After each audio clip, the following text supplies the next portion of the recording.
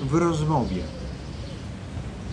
w pełnym słońcu, na plaży, kiedy tak nam przygrzało troszkę po czuprynkach, to powstał taki temat na temat nauczycieli.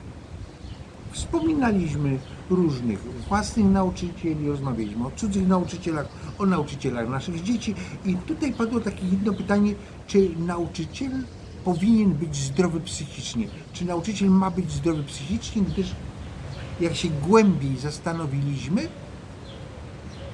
to każdy z nas w swoim życiu miał kilkudziesięciu nauczycieli, poznał kilkudziesięciu nauczycieli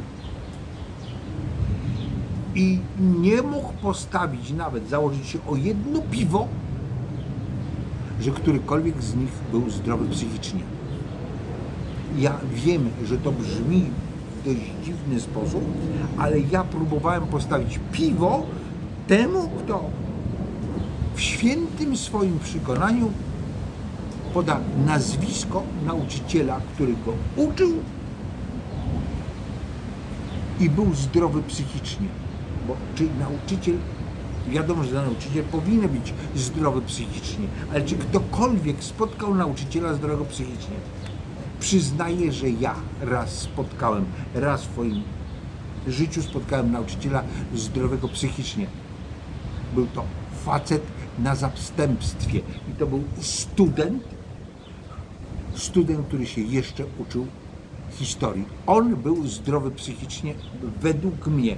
Tego bym nie podejrzewał, ale on był gotów powiedzieć prawdę. A to, że był gotów powiedzieć prawdę, to już też graniczy z rozsądkiem i nie jestem przekonany, czy on był zdrowy psychicznie. Jeżeli ktoś zna nauczyciela, który jest zdrowy psychicznie, to bardzo proszę, bardzo proszę, niech mnie poinformuje, że takiego spotka.